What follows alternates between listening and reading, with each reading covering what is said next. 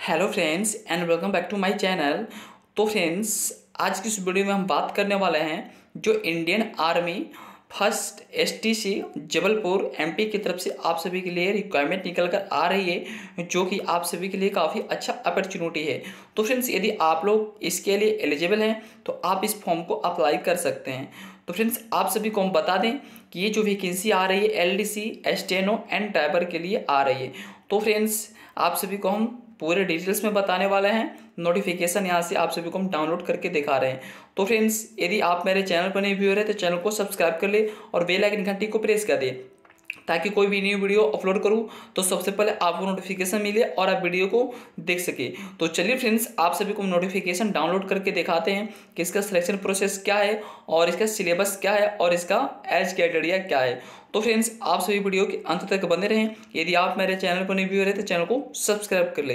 तो चलिए फ्रेंड्स आप सभी को हम सीधे ले चलते हैं नोटिफिकेशन पे कि इसका कैसे फॉर्म अप्लाई करनी है और इसका सिलेक्शन प्रोसेस क्या है। हाँ तो फ्रेंड्स आप सभी को स्क्रीन पे दिख रहा होगा कि जो इंडियन आर्मी की तरफ़ से जो नोटिफिकेशन जारी की गई है, उसमें हम आप सभी को लेकर के आ गए हैं। तो चलिए फ्रेंड्स आप सभी को हम बताते हैं। तो फ्रेंड्स यहाँ पे आप सभी को दिख रहा होगा government of India ministry of defence headquarter first signal training centre Jabalpur यानी फ्रेंड्स आप सभी को बता दें ये जो वैकेंसी ये जो रिक्वायरमेंट निकल कर आ रही है headquarter first signal training centre Jabalpur MP से निकल कर ये वैकेंसी आ रही है। ये एम्प्लॉयमेंट नोटिस है तो आप सभी यहाँ पे देख सकते हैं। ये जो आप सभी का फॉर्म है ऑफलाइन मांगा गया है ठीक है? ये आप सभी ऑफलाइन अप्लाई कर सकते हैं। यहाँ पे ऑनलाइन नहीं चलेगा, ठीक है?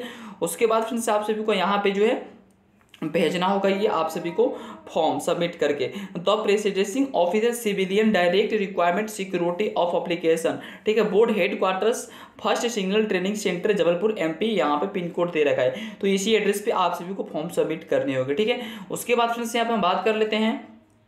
पोस्ट की ठीक है? कैटेगरी वाइज यहाँ पे पोस्ट दे रखा है, आप सभी देख सकते हैं। Name of the post and pay level in pay matrix यहाँ पे दे रखा है। तो लोअर डिवीज़न क्लर्क यदि आप लोग लोअर डिवीज़न क्लर्क का अप्लाई करना चाहते हैं तो आप सभी के लेवल टू का सैलरी लगने वाली है, जो कि उन्नीस सौ लेकर तिरसठ के बीच आप सभी की सैलरी लगने वाली है। ये जो आती है ग्रुप सी के अंडर में ये आती है, ठीक है? यदि टोटल पोस्ट की बात कर ले तो दस है, और यहाँ पे कैटेगरी वाइज दे रखा है तो आप सभी यहाँ पे फ्रेंड्स देख सकते हैं, ठीक है? अपना जिस कैटेगरी से है, वो अपना देख सकते हैं। उसके बाद फ्रेंड्स यहाँ पे दे रखा है सिविलियन मोटर ड्राइवर का।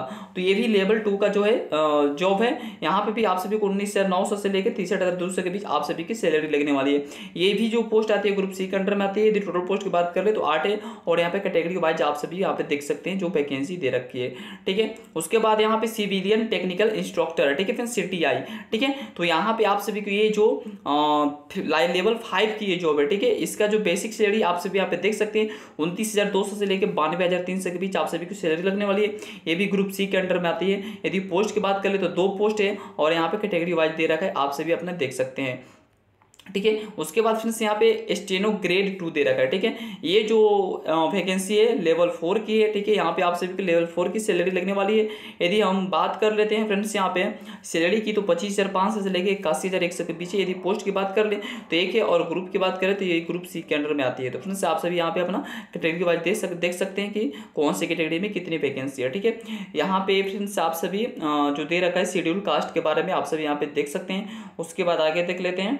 हाँ तो पार्टिकुलर्स डिटेल्स यहाँ पे दे रखा है आप सभी की योग्यता क्या होनी चाहिए? तो फ्रेंड्स यहाँ पे क्वालिफिकेशन दे रखा है, आप सभी देख सकते हैं, यदि आप लोग लोअर डिवीज़न क्लर्क का फॉर्म अप्लाई करना चाहते हैं तो आप सभी को मिनिमम बारहवीं पास होनी चाहिए और इसके साथ में आप सभी को टाइपिंग आनी चाहिए क्योंकि पैंतीस वर्ड पर मिनट आप सभी को कंप्यूटर पर इंग्लिश में यदि आप लोग टाइपिंग करना चाहते हैं तो पैंतीस वर्ड पर मिनट होनी चाहिए और यदि हिंदी में टाइपिंग करना चाहते हैं तो तीस वर्ड पर मिनट आप सभी को होनी चाहिए, ठीक है? यदि हम सिविलियन मोटर ड्राइवर की बात कर ले ऑर्डिनरी ग्रेड का तो फ्रेंड्स आप सभी को मैट्रिक मैट्रिकुलेशन यानी दसवीं पास आप सभी को होनी चाहिए। उसके बाद आप सभी को टू ईयर्स का एक्सपीरियंस होनी चाहिए ड्राइविंग का, ठीक है? उसके बाद बात कर रहे थे सिविलियन टेक्निकल टेक्निक इंस्ट्रक्शन का। तो आप सभी को बीएससी ठीक है? बीएससी के साथ आप सभी को फिजिक्स इंक्वायरमेंट आप सभी को होनी चाहिए। यानी फिजिक्स आप लेकर के बीएससी किए होंगे, पढ़े होंगे, तभी आप इस फॉर्म को अप्लाई कर सकते हैं। उसके बाद फ्रेंड्स आप सभी को टीचिंग का भी एक्सपीरियंस होनी चाहिए। तभी आप लोग इसके लिए योग्य है है ना? उसके बाद स्टेनोग्राफर ग्रेड टू की हम बात कर लें तो फ्रेंड्स आप सभी को बारहवीं पास के साथ साथ आप सभी को स्किल स्किल टेस्ट में आप सभी को दस मिनट बयालीस वर्ड पर मिनट आप सभी को जो है आनी चाहिए शॉर्ट हैंड उसके बाद यहाँ पे पचास मिनट इंग्लिश का, पैंसठ मिनट हिंदी का कंप्यूटर पे आप सभी को शॉर्ट हैंड जो होते हैं वो होनी चाहिए, ठीक है? उसके बाद हम यहाँ पे बात कर लेते हैं एज लिमिट की। तो फ्रेंड्स यहाँ पे अठारह से पच्चीस साल lower division clerk civilian teaching instructor and stenographer grade two के लिए यहाँ पे दे रखा है, ठीक है? यानी बिटवीन अठारह सताईस years of civilian motor driver ordinary grade के यहाँ पे दे रखा है और यहाँ पे पच्चीस वर्ष दे रखा है। जिस पोस्ट के लिए आप अप्लाई करना चाहते हैं, यहाँ पे देख सकते हैं। उसके बाद यहाँ पर रिलेक्सेशन दे रखा है, जो मिलता है एस सी का पाँच साल। ओबीसी का कितना मिलता है फ्रेंड्स आप सभी को पता होगा ओबीसी का तीन साल का मिलता है और एस सी का यहाँ पे फाइव ईयर्स का मिलता है। एज तो फ्रेंड्स आप सभी यहाँ पे देख सकते हैं। ठीक है, उसके बाद आगे देखते हैं, आगे इसमें क्या दे रखा है? आगे फ्रेंड्स यहाँ पे डिटेल्स दे रखा है फ़ी की, कि आप सभी को फॉर्म अप्लाई करते वक्त कैसे जो है फ़ी पेमेंट करनी है। तो फ्रेंड्स आप सभी को डिमांड ड्राफ्ट तरह पचास रुपीज़ का आप सभी को जो है यहाँ पे पोस्टल ऑर्डर लगने वाला है। ठीक है, जब आप लोग फॉर्म अप्लाई करेंगे तो आप सभी को पचास रुपये का पोस्टल ऑर्डर अंदर जो इन्वॉल्व होते हैं, उसमें आप सभी को चिपकाने होगा। ठीक है, इसके बाद यहाँ पे फोटोग्राफर्स के बारे में दे रखा है। आप सभी देख सकते हैं सेल्फ अटेस्टेड आप सभी को यहाँ पे one recent purpose passport size photo जो दे रखा है, आप सभी को तीन मंथ से अधिक ज़्यादा की नहीं होनी चाहिए। उसके बाद आप सभी को दो फ़ोटो जो है, उसमें अंदर डाल करके भेजनी होगी, ठीक है? उसके बाद कुरियल यहाँ पे कुरियल डेट यहाँ पे आप सभी को दे रखा है, आप सभी देख सकते हैं। उसके बाद क्लोजिंग डेट यहाँ पे आप सभी को जिस दिन से फॉर्म शुरू हुआ है अप्लाई पैंतालीस दिन तक आप सभी जो है पैंतालीस दिन का अंडर में आप लोग अप्लाई कर दीजिएगा। नहीं तो जो है फॉर्म वहाँ पे जाने में काफ़ी लेट हो जा लेट हो जाता है, ठीक है? उसके बाद सेम ऑफ़ एग्जामिनेशन यानी फ्रेंड्स आप सभी को बता दें कि आप सभी को सबसे पहले the selection will be made strictly on the basic of merit the selection process will comprise of written test and skill trade typing test यानी फ्रेंड्स आप सभी को सबसे पहले जो है मेरिट मेरिट मेरिट के हिसाब से आप सभी को कॉल आएगा। उसके बाद आप सभी का रिटर्न होगा। रिटर्न के बाद आप सभी स्किल टेस्ट होगा। यदि आप लोग कलर के लिए अप्लाई करते हैं तो स्किल टेस्ट यदि आप लोग ट्रेड से अप्लाई करते हो ट्रेड टेस्ट और टाइपिंग टेस्ट यहाँ पे होने वाला है, ठीक है? तो आप सभी देख सकते हैं। यहाँ पे समझा रखा है एग्ज़ाम के बारे में कि आप सभी को कौन कौन से क्वेश्चन आने वाले हैं पेपर में। तो पेपर वन की बात कर रहे फ्रेंड्स तो आप सभी को general intelligence and reasoning objective multiple choice question twenty five आएगा। और जनरल इंटेलिजेंस से जनरल अवेयरनेस से आप सभी को फिफ्टी क्वेश्चन पूछा जाएगा और जनरल इंग्लिश से फिफ्टी क्वेश्चन और जनरल एप्टीट्यूड से ट्वेंटी फाइव क्वेश्चन यदि हम फ्रेंड्स, बात कर लें टाइम की तो आप सभी को ड्यूरेक्शन टू आवर्स की मिलने वाला है टाइम दो घंटे का, ठीक है? यदि हम टोटल क्वेश्चन की बात कर ले टोटल मार्क्स की, कितना मार्क्स का आप सभी का एग्ज़ाम होने वाला है तो पचास पचास से और पच्चीस पच्चीस परसेंट डेढ़ सौ मार्क्स की आप सभी को यहाँ पे जो है एग्ज़ाम होने वाले है, ठीक है? और टाइम मिल कितना मिलने वाला है तो दो घंटा का आप सभी को पास टाइम मिलने वाला है, ठीक है? तो आप सभी यहाँ पे देख सकते हैं। उसके बाद फ्रेंड्स, यहाँ पे सिलेबस के बारे में समझा रखा है, आप सभी यहाँ पे देख सकते हैं जनरल इंटेलिजेंस एंड रीजनिंग से कहाँ कहाँ से क्वेश्चन आएगा। आप सभी यहाँ पे वीडियो पॉज करके अपना देख सकते हैं और जनरल ऑडियंस का यहाँ पे दे रखा है। उसके बाद फ्रेंड्स, यहाँ पे इंग्लिश लैंग्वेज का, उसके बाद न्यूमेरिकल एप्टीट्यूड का दे रखा है। उसके बाद यहाँ पे important instruction to the candidate application यानी फ्रेंड्स आप लोग जब अप्लाई फॉर्म करेंगे तो आप सभी को कौन कौन सी डॉक्यूमेंट लगानी होगी? तो दसवीं की जितना भी डॉक्यूमेंट है, आप सभी को यहाँ पे लगानी होगी। उसके बाद यदि आप लोग A C S T O B C से आते हैं तो आप सभी को कास्ट सर्टिफिकेट भी यहाँ पे लगानी है। उसके बाद यहाँ पे समझा रखा है कि जो लोग S C S T candidate है, उन लोगों का यहाँ पे ट्रेवल अलाउंस भी मिलने वाला है, जो कि तीस किलोमीटर डिस्टेंस जो छाट करके जो भी होगा, आप सभी को डिस्टेंस टूरिस्ट के हिसाब से आप सभी को यहाँ पे जो है पैसा मिलने वाला है, ठीक है? ए सी एस टी का केवल, ठीक है?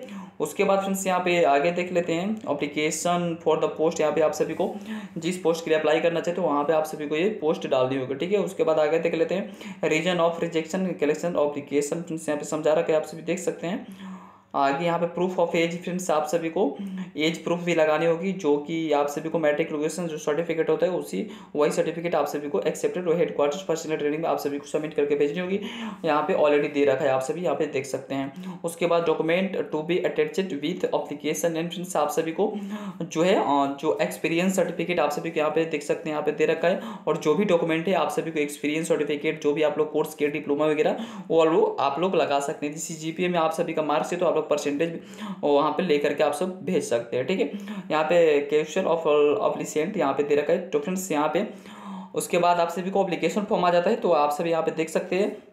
आप सभी को फॉर्म कैसे सबमिट करने हैं तो friends application for the post जिस पोस्ट के लिए आप, आप लोग अप्लाई करना चाहते हैं वो पोस्ट यहाँ पे डालना है। उसके बाद न्यूज़पेपर जो डेट आप लोग जब एम्प्लॉयमेंट जो आया था न्यूज़ पेपर उसमें आप सभी को यहाँ पे डेट डालनी है। उसके बाद आप सभी को इसी एड्रेस पर आप सभी को सेंड करनी है फॉर्म ठीक है? उसके बाद full name and block letter में आप सभी को यहाँ पर अपना नाम डालनी होगी ठीक है? उसके बाद यहाँ पे father's name date of birth उसके बाद एज यहाँ पे काउंट करके कितने साल कितने मंथ कितने डेज़ का आप सभी का एज हुआ जिस दिन आप लोग फॉर्म अप्लाई करना चाहते हैं। जिस दिन आप लोग फॉर्म अप्लाई करने करेंगे, उस दिन का डेट अपना निकालेंगे ठीक है? उसके बाद यहाँ पे आप लोग जिस कैटेगरी से आते हैं, उसका फिर यहाँ पे आप सभी को डाल देना कैटेगरी पोस्ट विच अप्लाइड उसके बाद एक सर्विस मैंने तो आप सभी को यहाँ पे अप्लाई करना है, ठीक है? नेशनली यहाँ पे डालनी है, उसके बाद रीजन यहाँ पे आप सभी को डाल देना है ठीक है? तो फ्रेंड्स आप सभी यहाँ पे देख सकते हैं।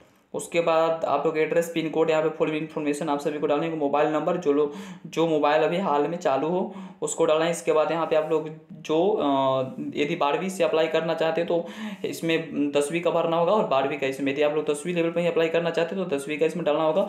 और यहाँ पे किस किस ईयर में आप लोग पासिंग किए हैं, उसके बाद बोर्ड नेम उसके बाद यहाँ पे मार्क्स उसके बाद यहाँ परसेंटेज यहाँ पे आप सभी को डालने होगा, ठीक है? उसके बाद यदि आप लोग, आप सभी के पास एक्सपीरियंस सर्टिफिकेट है तो आप लोग यहाँ पे अपना डाल सकते हैं, ठीक है? उसके बाद आगे देख लेते हैं तो यहाँ पे आप सभी को जो है थम देनी होगी, ठीक है? लेफ़्ट लेफ़्ट हाथ की यहाँ पे आप सभी देख सकते हैं, उसके बाद यहाँ पे एडमिट कार्ड के लिए जो उधर से आप सभी को जो भेजेगा कॉल वो है, ठीक है? तो फ्रेंड्स आप सभी देख सकते हैं, यदि आप सभी को कोई भी डाउट हो तो आप लोग कमेंट सेक्शन में पूछ सकते हैं। हम उसका रिप्लाई ज़रूर देंगे। तो फ्रेंड्स आप सभी को बता दें कि यदि आप मेरे चैनल पर नहीं भी हो रहे तो चैनल को सब्सक्राइब कर ले, ताकि कोई भी लेटेस्ट अपडेट निकल कर आता है तो सबसे पहले आपको आपको हम जो है इन्फॉर्मेशन दे सके। तो फ्रेंड्स आज के लिए बस इतना ही। जय हिंद।